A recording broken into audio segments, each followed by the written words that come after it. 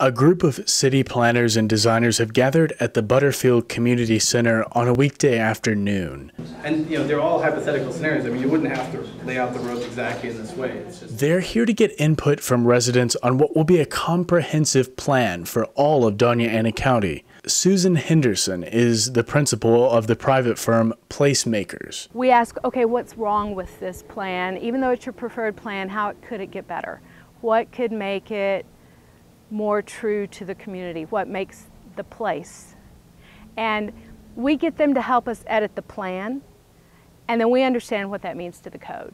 Well, I'm sitting down at what looks like a drafting table. That's because there's somebody at every one of these meetings drawing pictures to show what these codes would actually look like. Andrew is the one who's drawing pictures at this meeting. He talks to residents here at the Butterfield meeting, pen in hand. Also, here is the Community Development Director for the county, Dan Hortert.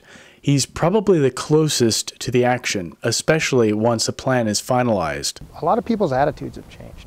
Um, the way they look at uh, zoning and, and, and the way that they interact with, you know, where they live versus where they shop and where they work. Um, you know, kind of bringing that together in a sense is, is the way people are starting to look at uh, um, the way that they, they want to live, you know, in their communities. When it comes to implementation of these plans, the Comprehensive Plans project manager Will Gleason says a lot of these plans are filled with shoulds. and it's probably more effective to have more shalls than shoulds and make sure the good thing about Viva Doña Ana is that it's not just a comprehensive plan but you're also revising the zoning code and, in re- and really the zoning code is the hammer for the for the comprehensive plan so the zoning code kind of takes the the concepts and the intent of the comprehensive plan and translates it into zoning, which becomes much more of a a sort of a, a site level decision making